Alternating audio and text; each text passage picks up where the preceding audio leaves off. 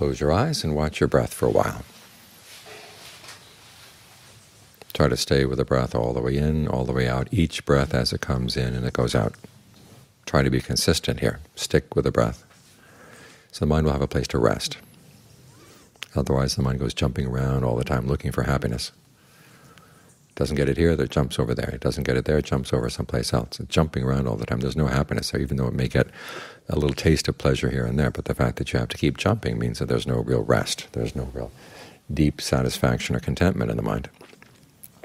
What you've got to train the mind to do is stay with one thing until it starts getting better. Like the breath, the more you stay with the breath, the more you find that you can adjust the breath in a way that feels really soothing throughout the whole body. Feels really good. When the body feels soothed from inside, again, then it's a lot easier to stay here. It's more pleasant to stay here. Even when there are pains in different parts of the body, you can focus on the areas that you can make comfortable. And that way the mind has a good solid resting place. We come to the monastery because we're looking for happiness, uh, and we realize that we have to be responsible for our happiness in two ways. One is that we have to be the ones who create that, and the two, we want to do it in a responsible way. In other words, in a way that doesn't harm anybody else. Because if your pleasure harms somebody else, okay, there's going to be a reaction. They're not going to stand for it. They're going to want to destroy whatever it is that your pleasure or your happiness is based on.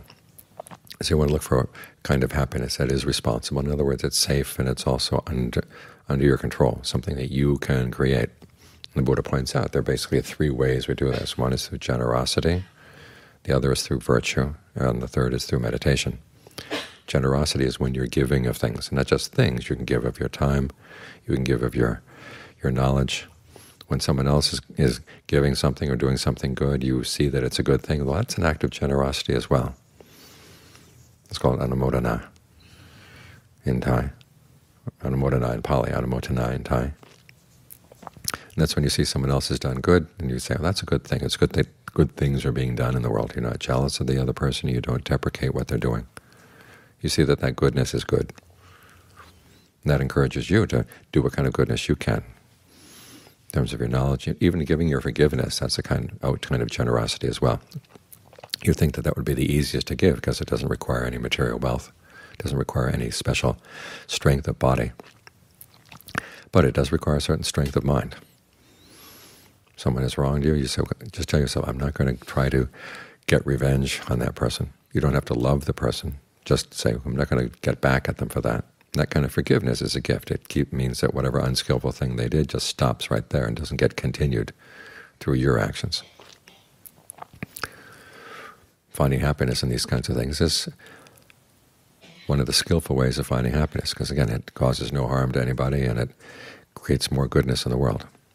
Virtue is when you learn how to refrain from unskillful actions. In other words, there's things you know that are going to be harmful to yourself or to others, and you just don't do them. You don't kill, you don't steal, you don't have illicit sex, you don't lie, you don't take, take intoxicants.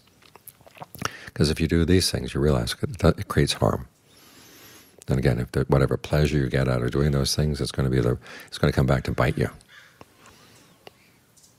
Compare it to a snake, and the, the, the, snake has teeth on one end and it doesn't have teeth on the other end. You think, well, the other end must be safe. It doesn't have teeth, so you catch the snake by the tail. Well, of course, it's going to turn around and bite you. The kinds of pleasures we have that cause harm to ourselves and other people will turn around and bite us at some point. So you decide that you're just going to refrain from that. And there's a kind of happiness, there's a sense of well-being, there's a sense of inner self-respect that comes from that. That kind of happiness is harmless and it's solid and lasting. Finally, the happiness that comes from meditation, when you can get your mind under control, so that when it starts thinking about things you know are bad or harmful or unskillful, that you know you can just say no, and train the mind well enough so it can drop those things. And instead you stay with things that give nourishment to the mind, thoughts that give nourishment to the mind, Things like the breath that allow the mind to settle down and develop good qualities like mindfulness, alertness, discernment, concentration. The happiness that comes from this is it goes deep. In fact, it goes a lot deeper even than generosity and virtue, because it goes deep into the mind. Because that's what we're all happiness is all about. Is a happiness that goes into the mind. It's not just a physical pleasure; it's a pleasure that goes deep down inside and stays there. So this is why we meditate, and this is why we come to the monastery, because we want a happiness that we can be responsible for. In other words, one that we create through our actions and that we're responsible for the consequences of our happiness. That way there's nothing to be ashamed about our, our quest for happiness. Other people may look for happiness in other ways, but you look at what they're doing and the, the damage they cause to the world, you have to tell yourself, well, I don't want to go there. Maybe I can't stop them, but at least I can stop myself. And maybe I can do some good and leave some good behind in the world. And then you can look at your life and be proud of it. That's the kind of happiness we're looking for here.